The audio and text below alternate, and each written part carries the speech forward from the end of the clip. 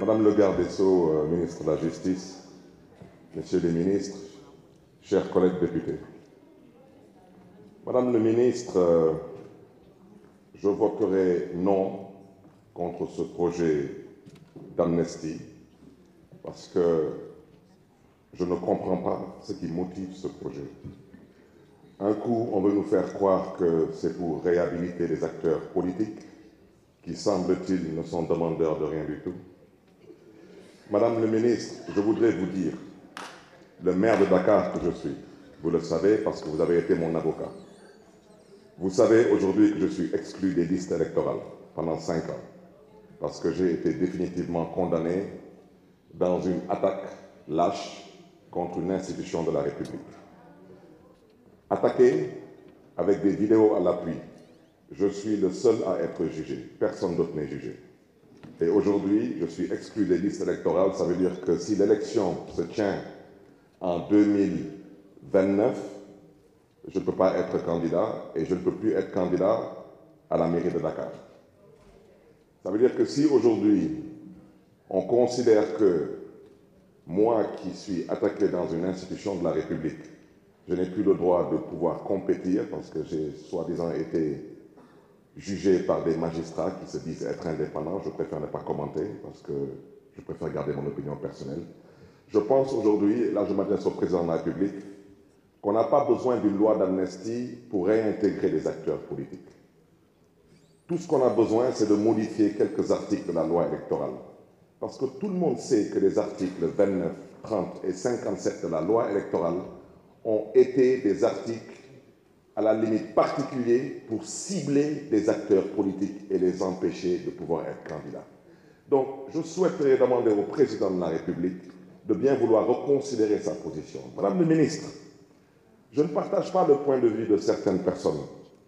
Je suis un acteur politique, un opposant, j'ai participé à presque toutes les manifestations dites violentes pendant ces 20 dernières années.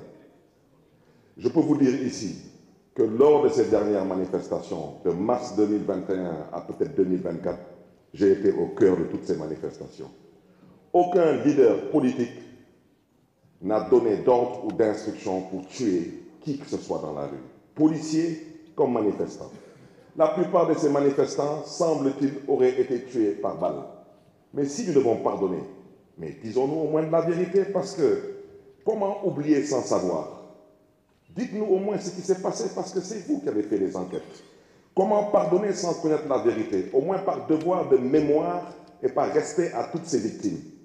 Qu'on se dise au moins des vérités. Si le président de la République veut pardonner, le président de la République doit aujourd'hui prendre sur lui, s'il est sincère, la responsabilité de sortir tout le monde de prison et de permettre à tout le monde de participer à des élections. Laissez les Sénégalais juger et voter. Ça ne sera pas la fin du monde. Le génie sénégalais a toujours su surmonter des difficultés.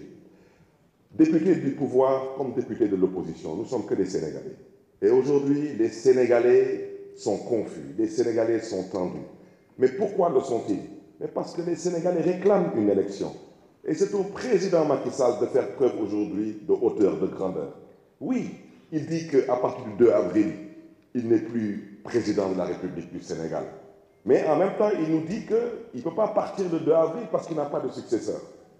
Mais en même temps, il dit qu'il ne sait pas qui doit organiser l'élection. Mais c'est lui qui doit l'organiser.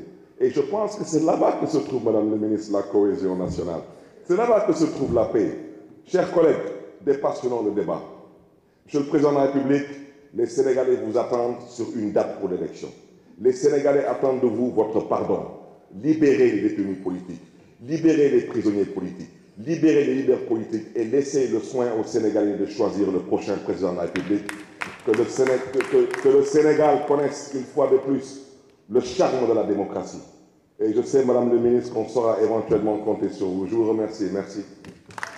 La parole est à notre collègue Oumar Sissé, suivi de Massata Sambo.